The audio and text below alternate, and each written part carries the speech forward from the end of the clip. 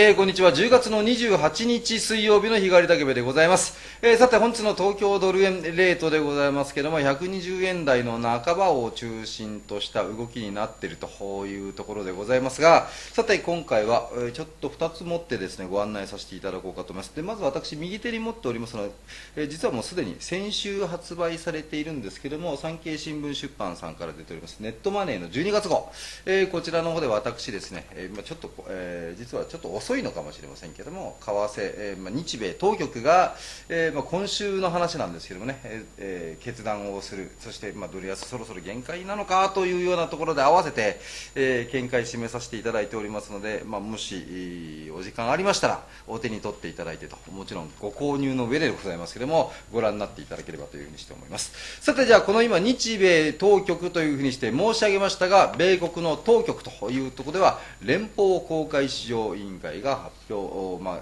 結果発表しますよというのが本日でございますでこちら持っておりますのが、9月の、えー、米国 FOMC でのステートメントでございます、えー、そこで今回のタイトルはこちらでご案内させていただこうかと思います10月 FOMC ナイトのシナリオというところでございます。こちらの方、ちょっと時間軸再確認をしていただければと思います。えー、まあ、あらあらで申し上げてしまうならば、えー、リスク管理しっかりお願いいたしますという話でございます。えーまあ、神のみぞ知る、もう当然イエレンさん以外はわからないぐらいの話なのかもしれませんが、イエレン FRB 議長、慎重な姿勢を持っている流れの中で、まあ、今回ですね、えー、10月の FOMC において、まあ、利上げがするするのか、もしくは声明文変えるのかどうかというのが注目されているというところでございます。で、えー、基本的にはマーケット、これ、リキアの FX 登場、ブログなどでもちょっと書かせていただいているんですけども、どうなんでしょうか、皆様方な、これは肌感覚でもいいかと思いますが、利上げをするねというふうにして、米国の利上げ説を支援するような市場参加者、現在はかなり少数になっているのかなという感じだと思います。えー、そうなりますと、そのままスルーするんだったら、まあ、まあそうだろうねというような話になるのかと思いますが、マーケットがサプライズするという言い方になるならば、利上げでございますね、まあ、0.25ではなくて0.125の可能性もというふうにして私は以前変化球の話をさせていただきましたが、えー、まあ利上げをするもしくは12月に絶対するんだ、まあ、絶対という言葉は言わないでしょうけども、えー、12月年内というふうにして言われている流れの中ではあと12月しかございません、えー、そうなりますとそうしたものに対するシグナルというんでしょうかね。メッセージをどのような形で FOMC はマーケットに伝えるのか、えー、一部ではちょっとと市場対話の仕方が下手くそなんじゃないかというような揶揄するようなあまあ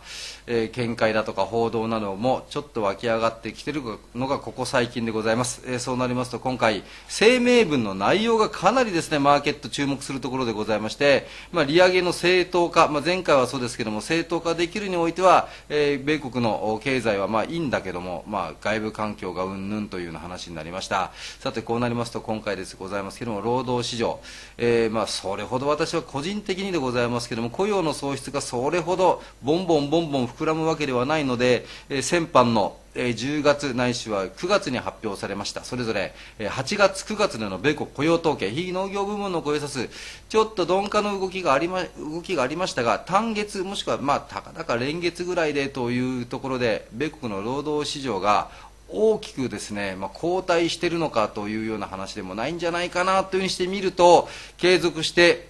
力強いさらには12月を完全に示唆するような形になるのか、えー、マーケットはまあ利上げはもう来年にまでずれ込んでんじゃないかという向きも出てきている中ではこれ多分、えー、サプライズの姿勢ということでドルが大きく買われてくる形になるのかなと思います、えー、ただしここで難しいのはシナリオ、えーまあ、これ非常に難しいですけどもじゃあドルが買われた場合どうなるのか。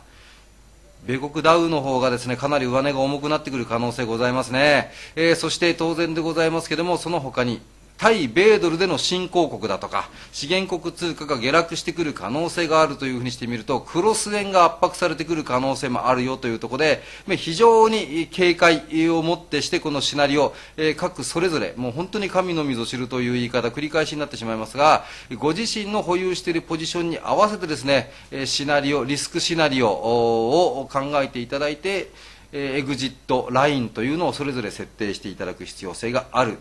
夜だと。いうふうにして、えー、再確認していただければというふうにして思います、えー、繰り返しになりますが午前3時でございますので、まあ、ちなみに12月になりますと冬時間で4時半になってまいりますけれども午前3時でございます。深夜でございますのでそうそうその時間帯に向けて2時だとか2時半からですね当然、えー、仕掛けをしてくる向きの可能性の存在も否定できないところ。そして午前3時、えー、深夜にございますけれどもドルを中心とした通貨ペアなどはスプレッドちょっと広広がってくる可能性もあるかもしれませんね、えー、そうしたところもですねぜひご留意をしていただいて FOMC ナイトのシナリオイメージしていただきたいというふうにして思います、まあ、特にリスク管理の方ですね、えー、ストップロスの設定もしくはまあ早々に利食い千輪力也ができるのであるんだったらばエグジットライン、まあ、プロフィットラインというのもちょっと設定していただければというふうにして思います。えー、そしてですねこの今の FOMC の見解においてでございますけれどもちょっとずいぶん前でございます。ご案内させていただこうと思いますがちょっとこちらのアップでご覧になっていただければと思います。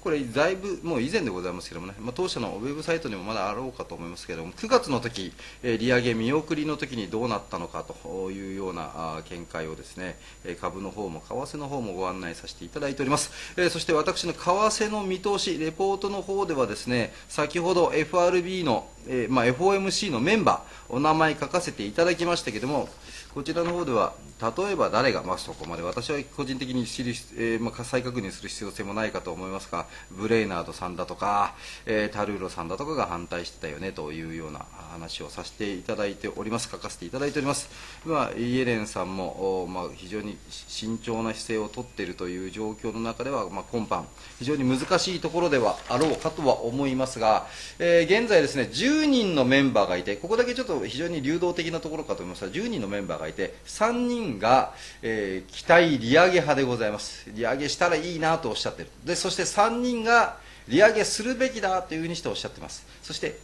今度は3人が利上げはしないべきだというふうにしておっしゃってそしてお一人方態度保留になっているわけですけれども対3、まあ、6対4になるんでしょうかね。どちらかというと利上げ期待派としたい派がちょっといるけどもさてこれが慎重になってどういうような形で、えーまあ、平均化されてくるのかと。いうところがポイントにもなってくるのかなというふうにして思います、まあ、FOMC のステートメント、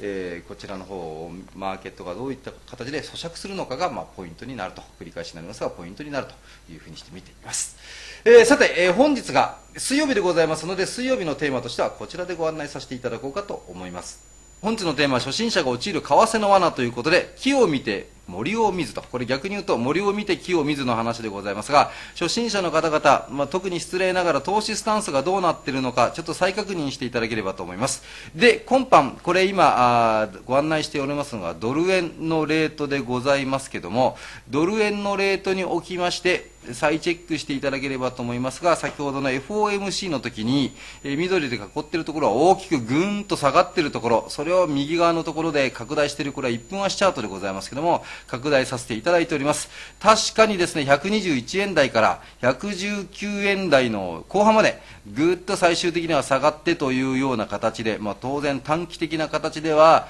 えー、リスクもしくは、まあ、あチャンスをそれぞれこの場面で目論んでエントリーなされた方々も多かったと思います。そうしたところでは2円幅約2円幅というのは相応の動きになったわけでございますけどもただしこの木を見てというのはこの短期的な場面を見て森を見ずというのは改めてでございますがこの大きいチャートをご覧になっていただければと思います。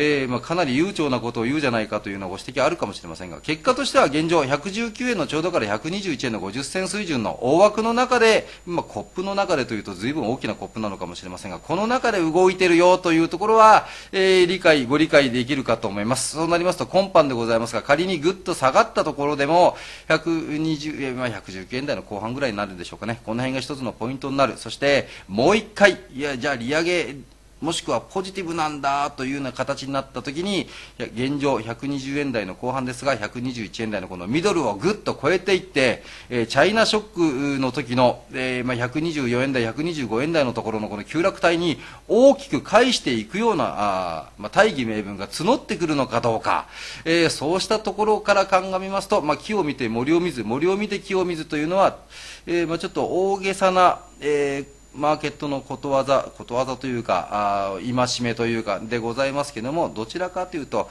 ご自身の投資スタンスをよく再確認していただければと思います、えー、そうすれば別に、えー、110極端な言い方ですけども119円だろうと130円だろうと関係ないんだという方もいらっしゃるでしょうし、えー、逆にいやいやいや大枠は俺は関係ないんだと私は関係ないんだとあくまでも細かいところが大事なんだと、えー、それぞれのお立場があろうかと思いますので初心者の方々が落ちる為替の罠、えー、ある意味投資スタンスご自身の投資スタンスを明確にしていただいて、えー、この FOMC、えー、まあ意識をしていただいてマーケットお取り組みいただければというふうにして思います。えー、繰り返しになりますが深夜3時でございます。FOMC の動き、えー、当然無風で何事もなかったと。竹部うるさかっただけだなというふうにしてなるかもしれませんがリスク管理だけは十分ご注意していただいてお取り組みいただければというふうにして思います。以上10月の28日水曜日の日替わり竹部でございました。